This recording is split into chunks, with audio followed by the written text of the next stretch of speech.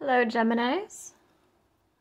I'm going to look into your situation. So this could be love, finances, career, psychic development, just whatever the cards want to say, whatever wants to come out here. Let's see what the story is.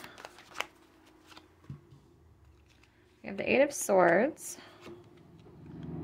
We have the Six of Cups reversed.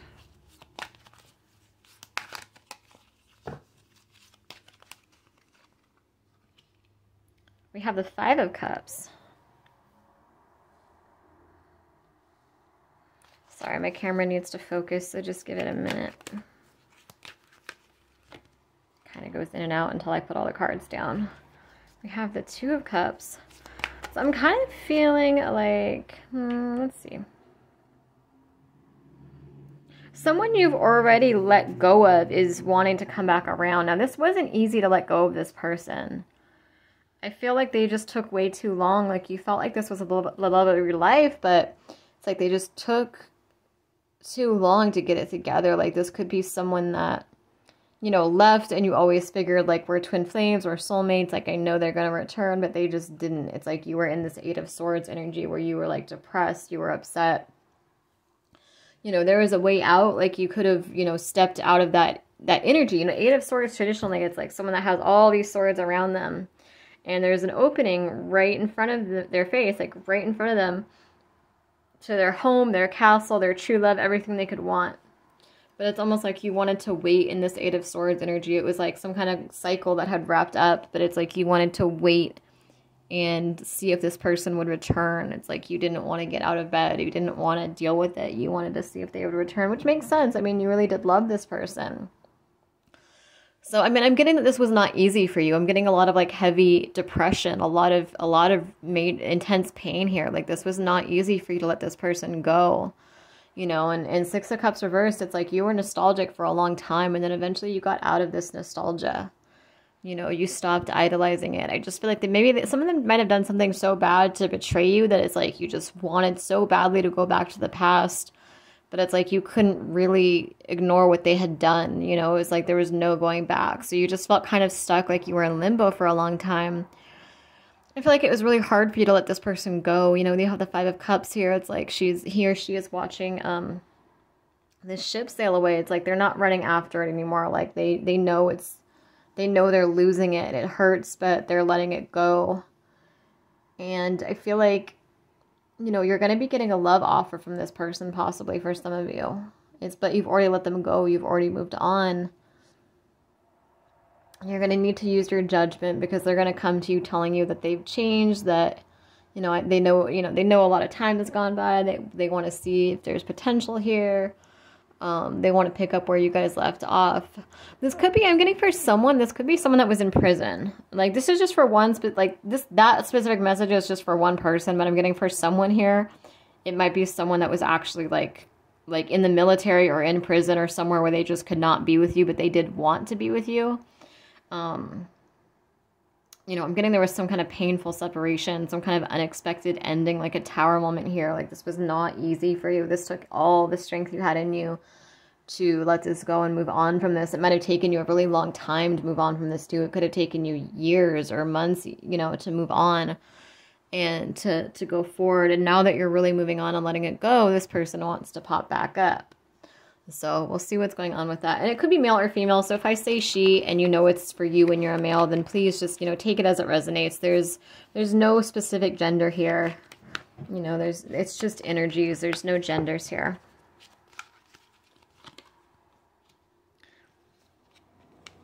King of Cups. Temperance. Sorry, bear with my phone. It just does that while I'm putting the cards down, but then it will adjust after I've set them all out. Ace of Swords. Yeah, I'm getting like the energy of unexpected quick communication. Yeah, like a love offer here, Page of Cups. Like a love message or a love offer, some kind of quick quick communication, some love message it looks like. Page of Wands. Yeah, passionate love message too. Passion, emo emotions. Um, hmm.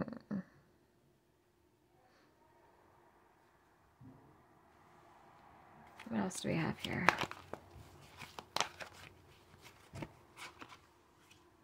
The Magician. For some, this person's been trying to manifest you back. Like they've actually been doing magic to try to get you back. Because they want to build with you. Three of Pentacles. Nine of Pentacles. They want, you know, they they want to. I feel like this is like a relationship where you guys both put a lot into this, so they want like the reward for that. Like they want, like they feel like they like they're. I don't want to say owed a reward, but they feel like they just you guys both went through a lot together, so they don't want to give up on it.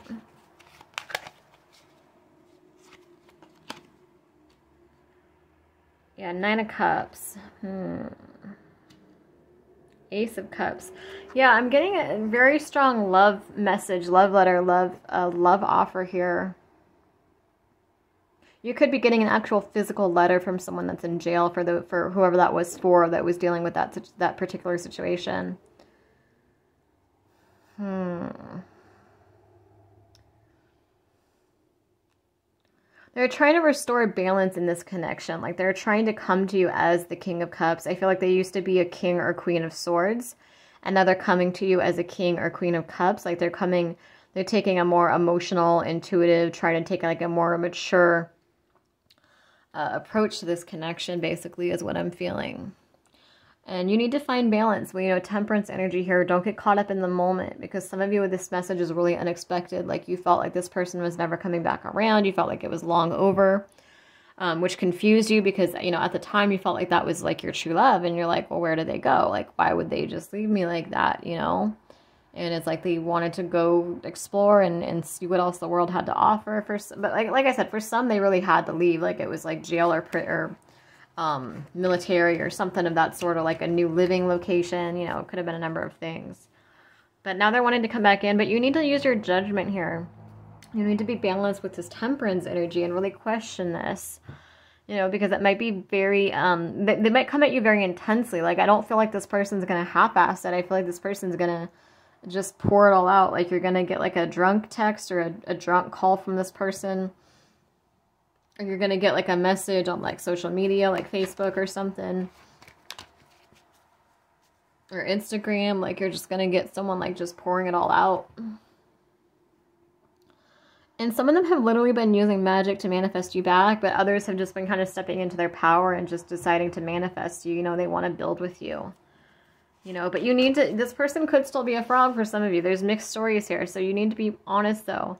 You know, because like, yeah, it could be wish fulfillment, but it could also just be a frog. You need to kind of be honest with yourself. Look at it objectively. Like, look at like look at how it really is. Don't try to repaint this person's colors, you know? Because it took so much for you to move on from this person in the first place. So, you know, when you get this message, you really need to not be too hasty with it, you know, because some of you might get really excited. Some of you might get this message and you might be like, okay, let's dive back into it. Let's do it you know, because this person might take a very emotional approach. They might really come to you as this King of Cups, trying to find this balance. And you need to use your intuition because for some of you, this offer is legit. Some of you do want to take this offer. Some of you, this there is something here that can be rebuilt. You know, some of you can restore this damage and you guys can rebuild together. But for some of you, you can't. And so there's a couple different stories here. So you've got to use your intuition here to decide because I'm just getting that for some of you it's it's it's no bueno and for some of you it's it's good, you know. Um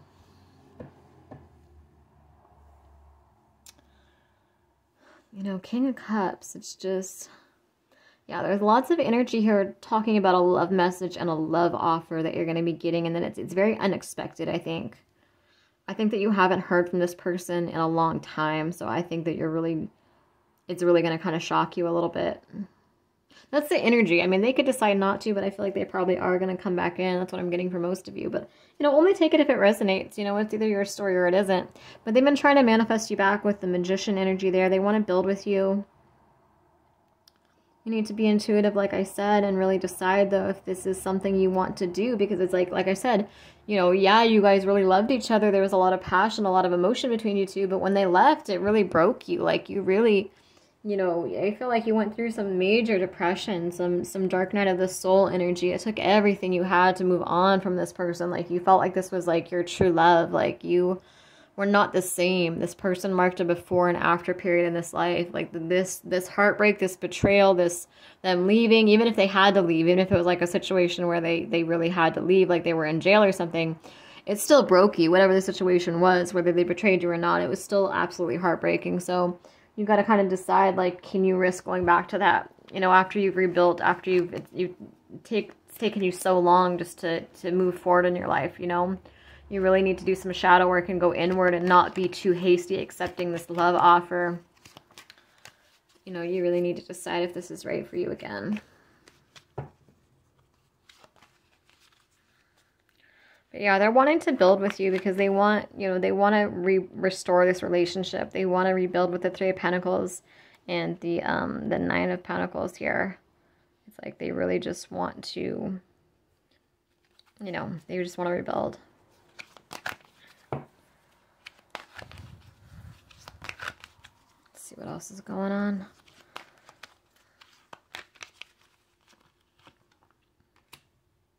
The tower, yeah, I feel like this is going to be a tower moment for you where you're like, dude, I thought you were long gone. Like, I thought, like, what the hell? Like, this is like a message out of the blue where you're just like, uh, what? Like, I haven't talked to you in two years. What do you mean you've always been in love with me? You know, it's like that kind of energy where you're like, what the hell? Or like, or like someone's like getting out of jail. I keep getting that there's like one specific person here that's dealing with someone that's in jail and it's like this person gets out of jail and like you think they're going to move on because it's been so long that they've been in jail and they're going to come back and try to be with you. It's going to take strength because, like I said, you need to be mindful. You need to really think about this. Can you afford? You've spent so much energy trying to rebuild your life. Can you really afford to go back to this? You know, and there's different answers here. There's no, there's not like there's a right answer. For some of you, it's yes, and for some of you, it's no. You know, I'm getting mixed energies here, but for some, it's like you need to protect yourself and protect your finances and let go of the burdens. Show me what else you need to know about this.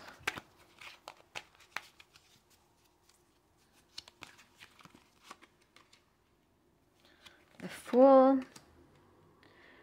Some of you have a new start with, with finances and success and abundance and career and also with love.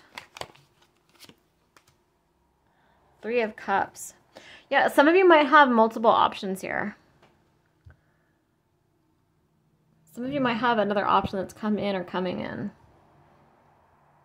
Or they could even have multiple options too.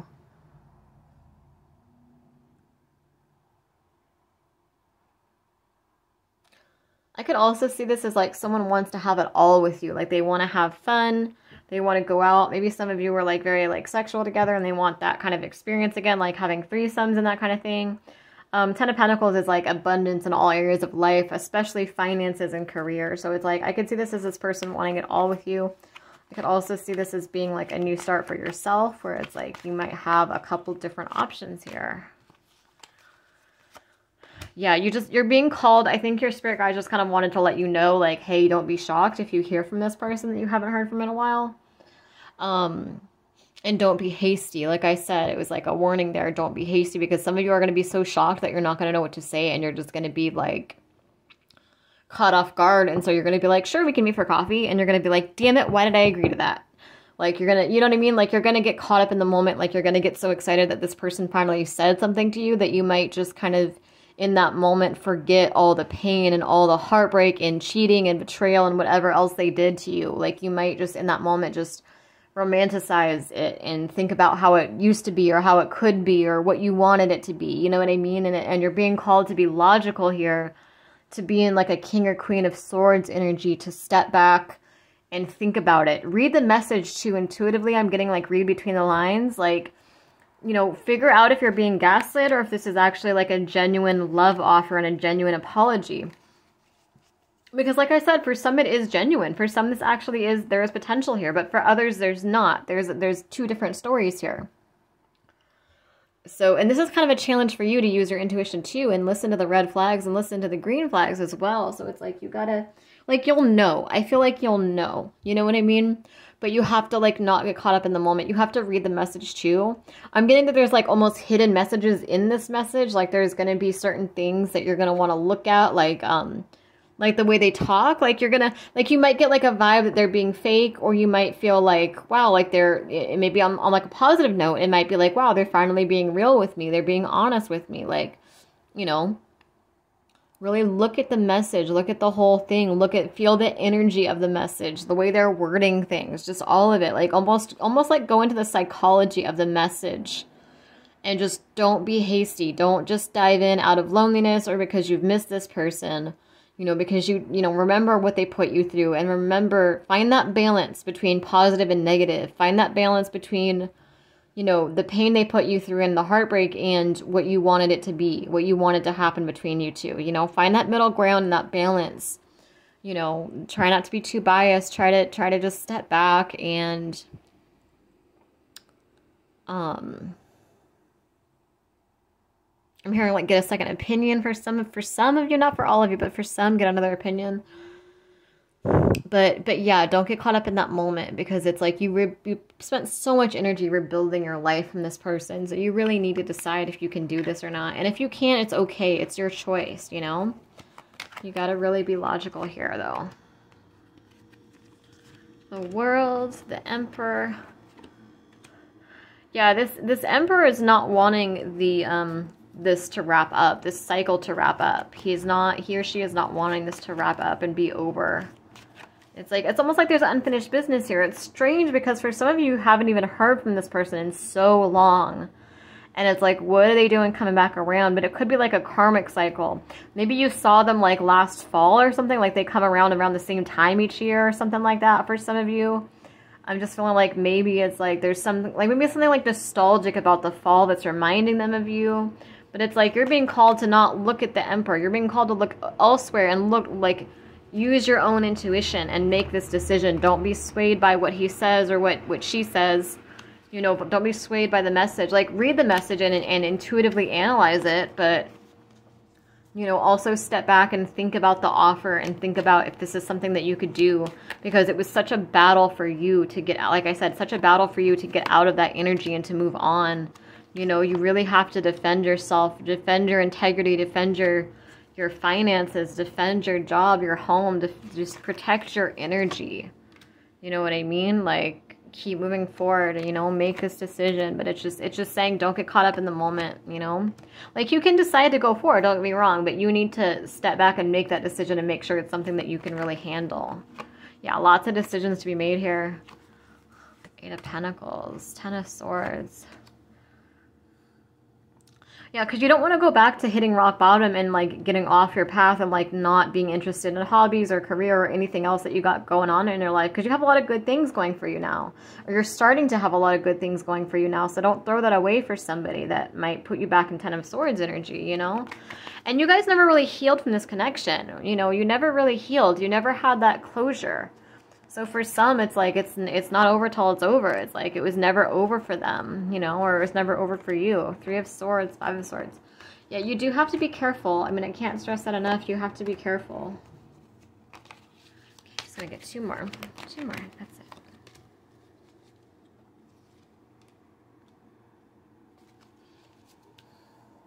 Okay, one more. Yeah, it's like they want to rebuild. They want to, with the star energy, they have hope. They want to get out of this period of silence with you. They want communication. They want to move forward. They want to rebuild. I keep hearing rebuild. Like maybe some of them want to have like a business with you. Like they want to rebuild a business with you or like maybe you guys had certain goals that you guys were working towards like you were working towards saving up to get married or saving up to like buy a house together or to do certain things like travel the world together. And they want to get back on that path. They want to get back on track and and do those things with you again. They want to work towards those goals with you. So just a major energy of rebuilding here. So but yeah you're being called to to really step back use your intuition and make a logical decision because you cannot risk going back to how to to ten of to three of swords, ten of swords energy to you know, to losing everything that you've worked so hard to build for yourself. Okay? Be logical here. Be be balanced, be intuitive. Um, be honest with yourself too. Um, but yeah, that anyway, that's the, that's the story I'm getting here for this for you know the 15th current energy. If you'd like a private reading, just email me. My email is dragonenchantress at AOL.com.